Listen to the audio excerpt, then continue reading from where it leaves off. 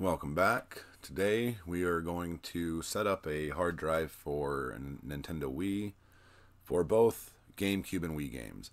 Now I did a video years and years ago on dual partitioning your hard drive, which we really no longer have to do with the advancements made in USB Loader GX, WiiFlow, just every uh, utility that the Wii utilizes to play these backup games.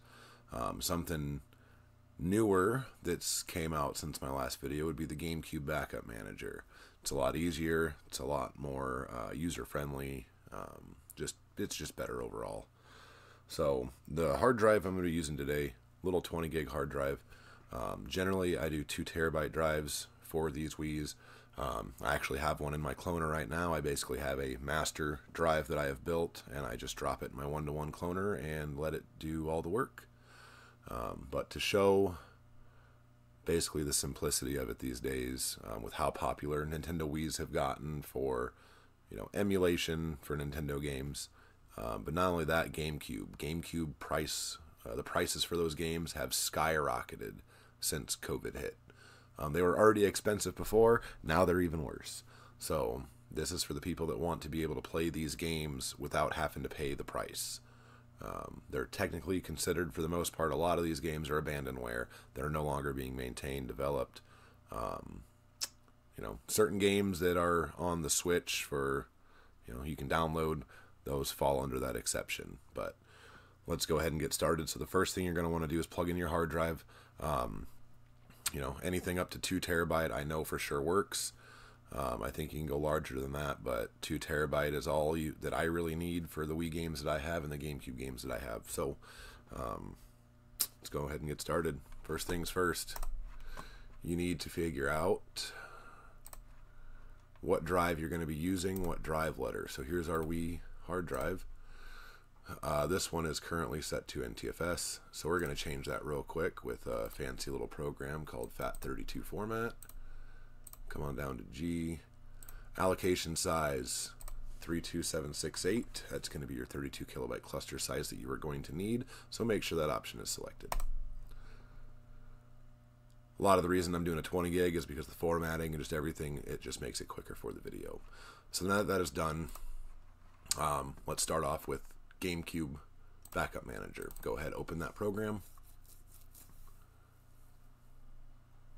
First thing you're going to want to do is select your directory your GameCube games are stored on. So come down to more directories, computer. I think they're stored on my 6 terabyte. Yep, there they are.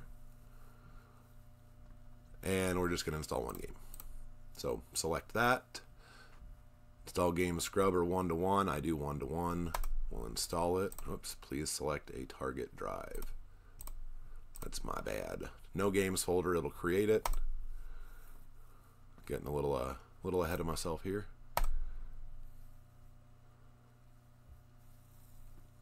All right, so that's going to go ahead and install.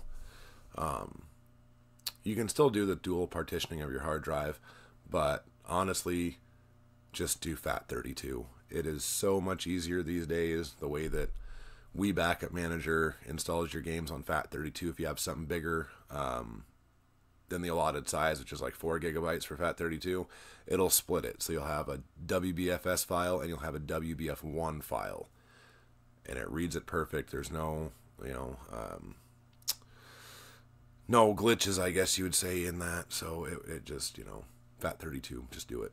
Don't dual partition anymore. It's not necessary. So this one's at um, well, 70% so far and I will have these linked. I'll give you links directly to the download sites for these. I probably won't host GameCube Backup Manager. Um, I've hosted in the past certain files because um, I didn't think they were in you know in development any longer, but this one is still actively uh, being updated. All right, so that one has completed. So now we can come on over So if you don't want to use Wii Backup Manager, if you have just a you know a ton of games, you can always go through and rename them manually. I don't know why with GameCube Manager. Back when the DSMS uh, toolbox was being used, it was a lot easier to just go through and rename them all versus installing one game at a time.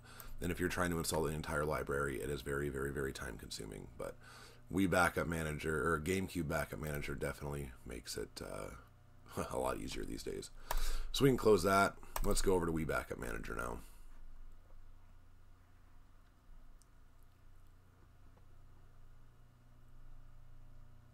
Let that open on up. So first thing you want to do, drive one, select it. There is no WBFS folder. Go ahead and create that. So now that drive one's selected, let's go find a file. We'll just come on over here. So I already have some in the folder format. We'll just go with Arcade Zone. It's a small, small game, won't take very long. So now select that. Once we have our drive selected, hit transfer, drive one.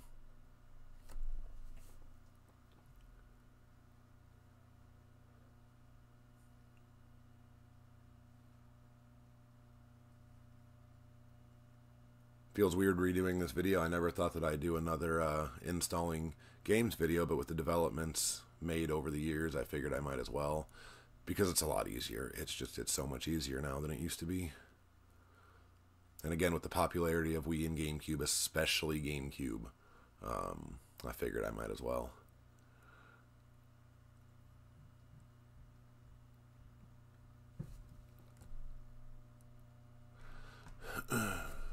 does take a little bit longer here at the end once it's finalizing everything.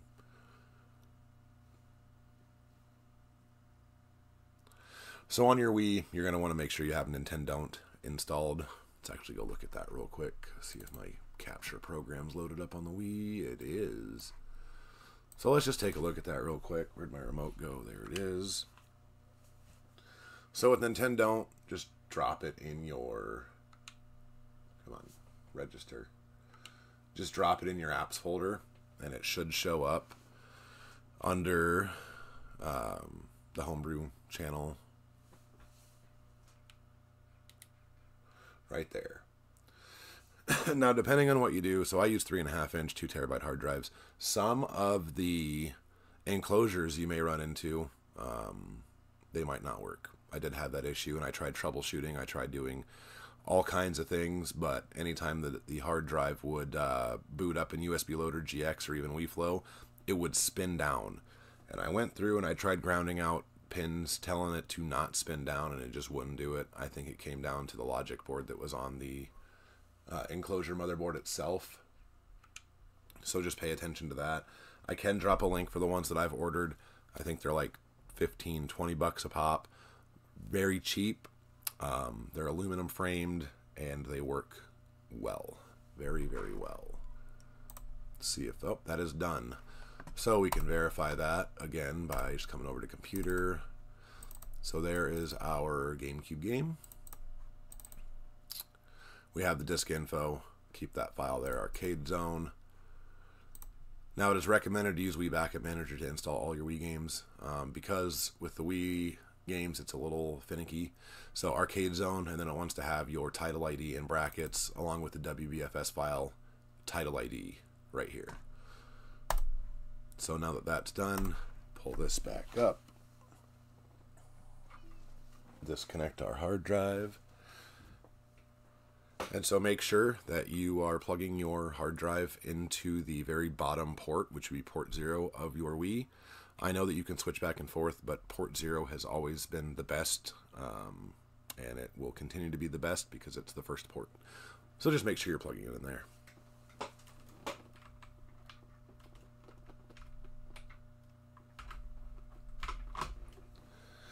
All right, we'll let that spin up, do its thing.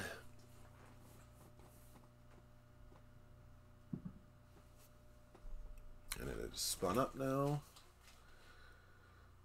So let's head over to USB Loader GX.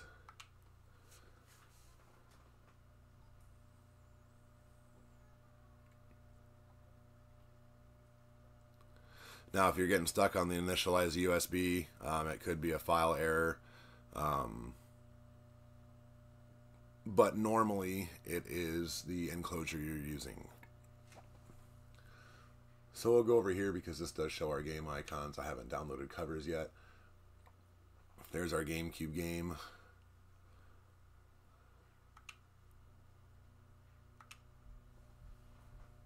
Go ahead start that real quick. And there's Nintendont doing its thing.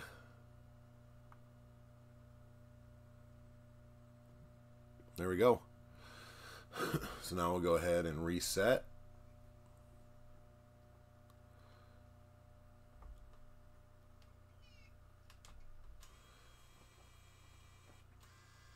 Sometimes you reset while in the middle of a game, it won't load back up right away, so I just turn it off back on real quick.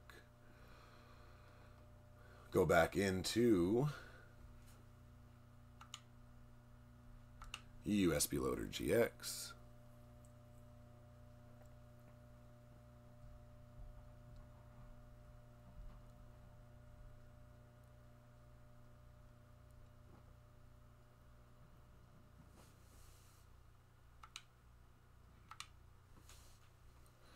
And now show that we can launch the Wii game from the same FAT32 hard drive.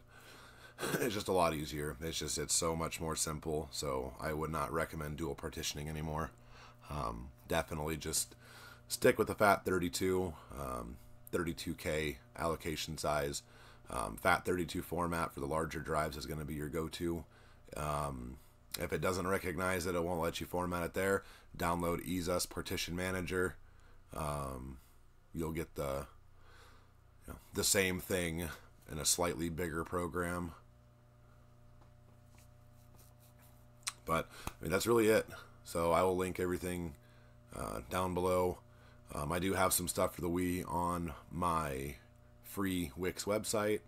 Um, take a look at that if you'd like. Um, since I'm no longer allowed to post, not really allowed, I, I guess, but I can't post my MediaFire links and whatnot even certain GitHub pages I can't post to YouTube anymore because their AI is starting to flag everything. Um, so take a look at that. Take a look at the rest of my videos. I got a lot of content out there for the Wii. Um, it's one of my favorite systems to mod aside from the original Xbox. Um, other than that, though, I'm going to go ahead and end the video. If you guys enjoyed it, leave a like, drop a comment. Thanks for watching.